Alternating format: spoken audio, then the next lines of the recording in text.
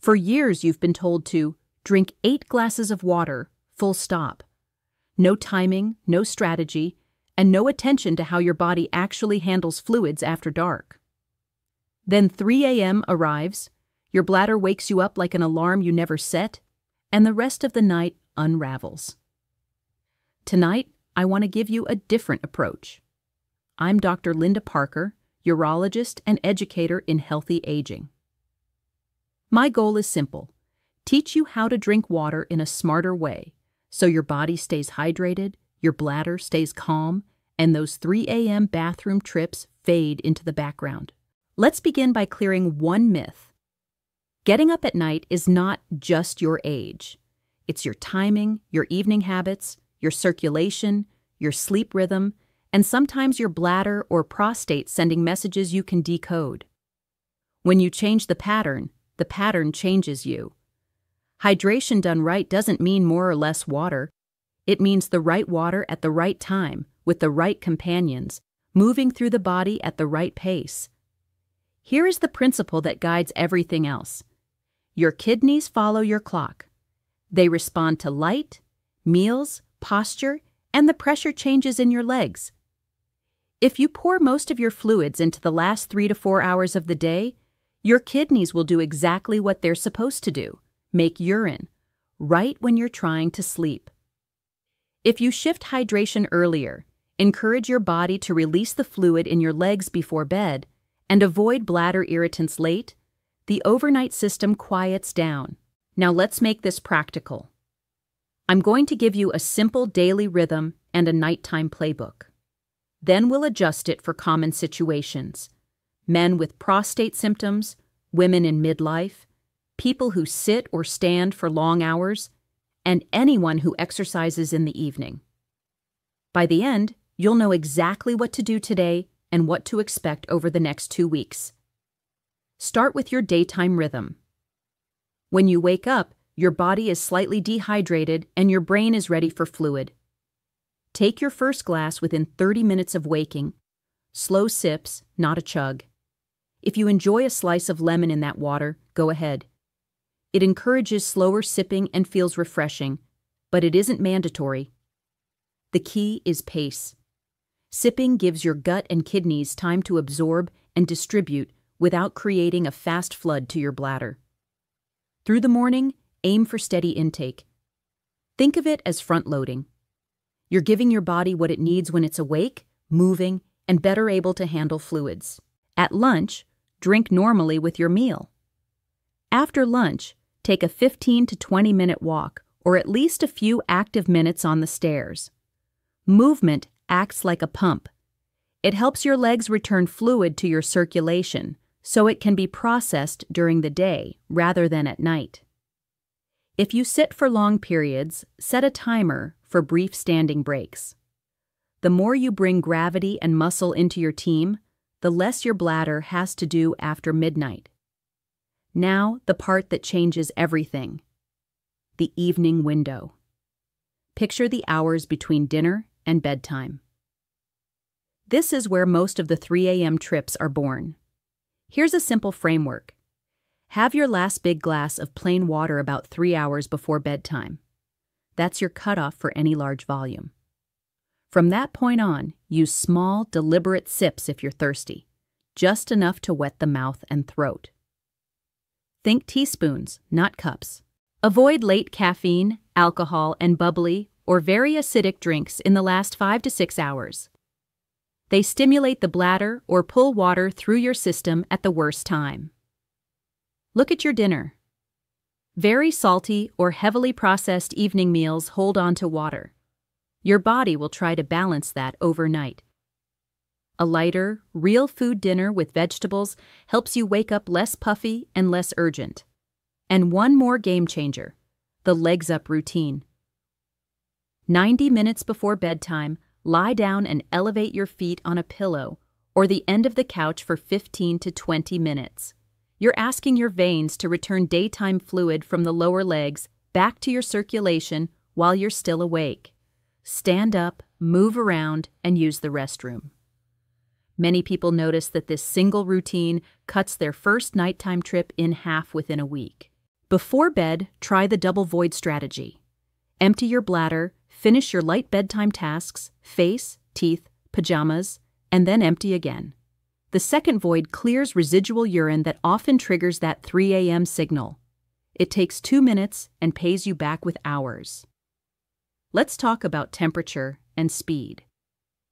Ice cold water right before bed can feel refreshing, but it also encourages faster drinking and a little stomach constriction that sends fluid forward quickly.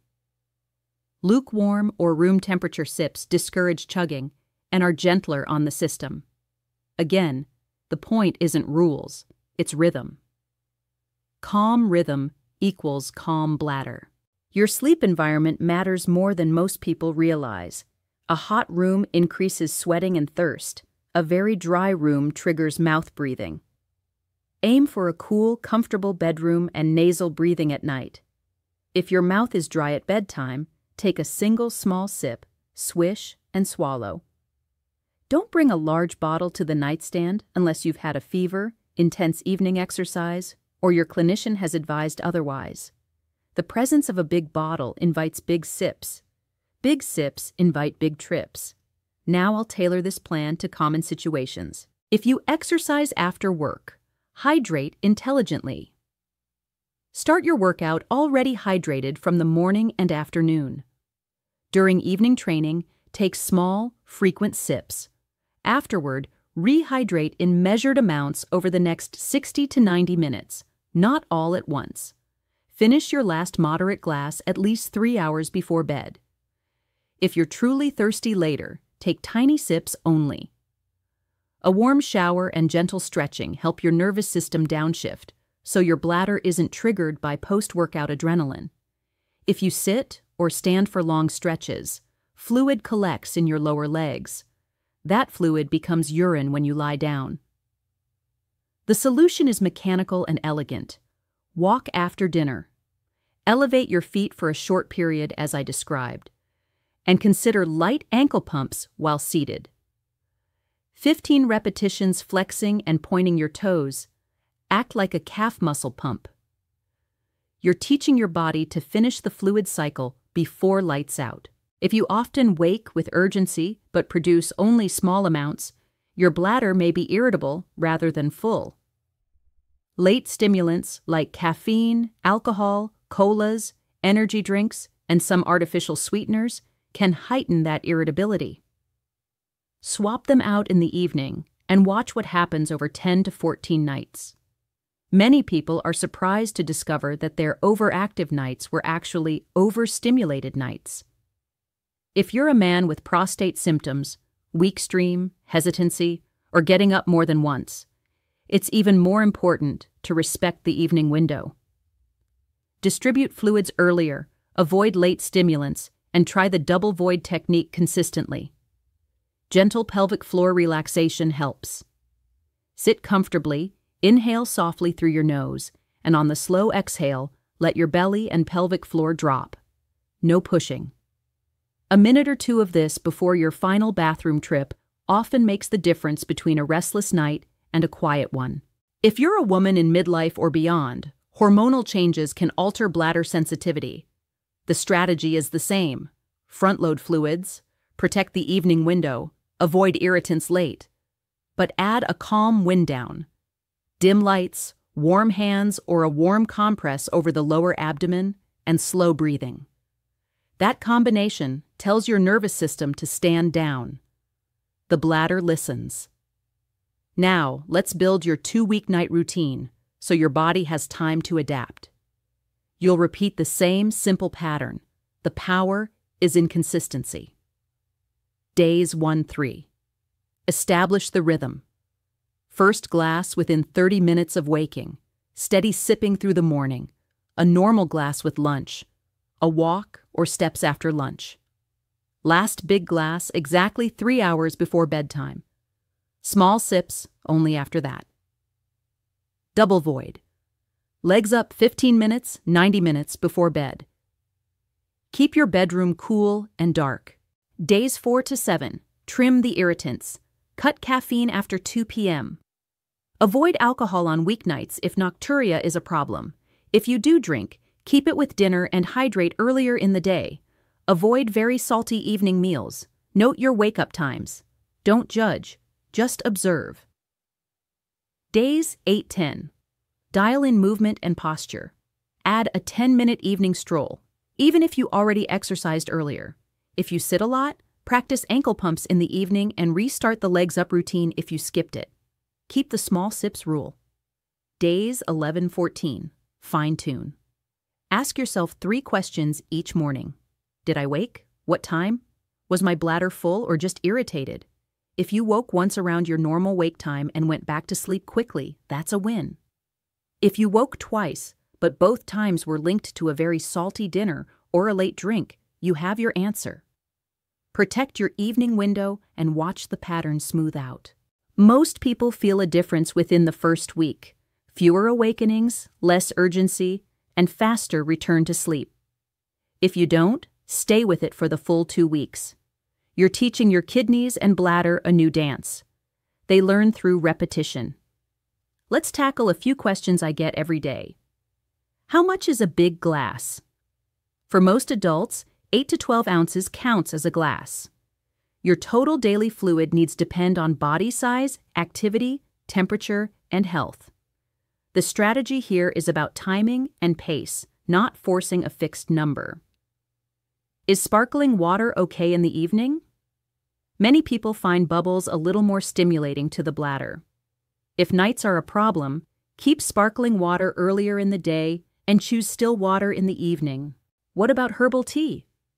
Soothing teas like chamomile can help you unwind, but they're still fluid. If you enjoy a small cup, Finish it at least three hours before bed. If you're very sensitive, try a warm, unsweetened sip, literally a few mouthfuls, closer to bedtime rather than a full mug. Do I need electrolytes at night? Not for most people. Save any electrolyte beverages for earlier in the day or after midday activity. In the evening, simple water in small sips is your friend. What if I'm truly thirsty at bedtime? Take two or three small sips, swish, swallow, and place the glass out of reach. If your mouth is dry every night, look at your bedroom air, your evening salt, and your caffeine. If snoring or mouth breathing is part of your nights, talk to a professional. Breathing well helps sleeping well. What if my job forces late dinners? Keep the dinner light and lower in salt, take a short walk afterward, and lock in the legs up routine and double void. Protect the small sips rule the last 90 minutes. Now, I'll give you a one day template you can start tonight and repeat tomorrow. On waking, one glass, slow sips. Morning, steady sipping, not constant chugging. Lunch, one glass with the meal, short walk afterward. Afternoon, another glass if you're outdoors or active. Otherwise, sip to thirst. Three hours before bed, last big glass, set a reminder on your phone. 90 minutes before bed, feed up 15 minutes, then move, then bathroom. Bedtime. Double void, cool room, nasal breathing, small sips only if truly needed. That's the template. It's not dramatic, and that's why it works. Your bladder wants predictability. Your kidneys like daylight. Your legs appreciate movement.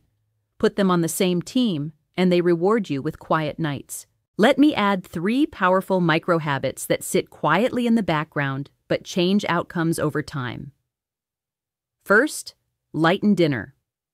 Try finishing the main part of your meal two to three hours before bed. If you need a small snack later, choose something simple and not salty. Your body rests better when it isn't juggling heavy digestion and fluid balance at midnight. Second, cool your sleep cave. A slightly cooler room reduces overheating and thirst. It also encourages nasal breathing, which keeps the mouth moist and the brain calmer. Third, respect your wake window. If you do get up once, move slowly. Keep lights low, avoid screens, and get back to bed promptly. The fewer extra stimuli you add, the less likely you are to wake again. Now, a word for the groups who need special attention. If you take diuretics or other medications that affect fluid balance, ask your clinician whether you can shift them earlier in the day. Never change prescription timing without guidance. The goal is to align your medication's peak effect with daylight, not nighttime. If you have swelling in your ankles by evening, the legs up routine is not optional, it's essential. Add compression socks during the day if your clinician approves, and keep that short evening walk. If you snore loudly, wake up gasping, or feel unrefreshed despite enough hours in bed, talk to a professional about sleep apnea. Untreated apnea fragments sleep and can worsen nocturia. Treat the airway, and the bladder often calms down. If you notice burning, blood in urine, fever, chills, pelvic pain, or a sudden change in urinary habits, seek care promptly. Those are not hydration timing issues. They require evaluation. I want to leave you with this. Healthy nights are built during the day. When you treat hydration as a rhythm, front loaded, paced, and wisely tapered, your bladder relaxes. When you move your body after meals and let gravity work for you before bed, your kidneys finish their job early. When you keep evenings gentle, less salt, fewer irritants, small sips only, you stop fighting biology and start partnering with it. If I had to compress this entire lesson into one sentence, it would be this Drink most of your water with the day, give your legs a head start, and let the night be for sleep, not plumbing. Never think it's too late to reclaim quiet nights. Your body is adaptable at any age. Tonight you'll change one thing your last big glass three hours before bed. Tomorrow you'll add the legs up routine. The next day you'll double void.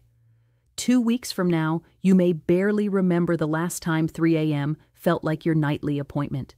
If this guide helped you feel more in control of your nights, share it with someone who needs it. Tell me in the comments which part you'll try first and report back in a week with your results. If you want more clear, respectful guidance on hydration, circulation, and healthy aging, subscribe. I'm Dr. Linda Parker, and I'll be here to help you sleep through the night, one smart habit at a time. Disclaimer This video is for general educational purposes and is not a substitute for personalized medical advice diagnosis, or treatment. Do not start, stop, or change any medications without speaking with your healthcare professional. Seek care promptly if you experience fever, burning with urination, pelvic pain, blood in the urine, or sudden worsening nighttime urination.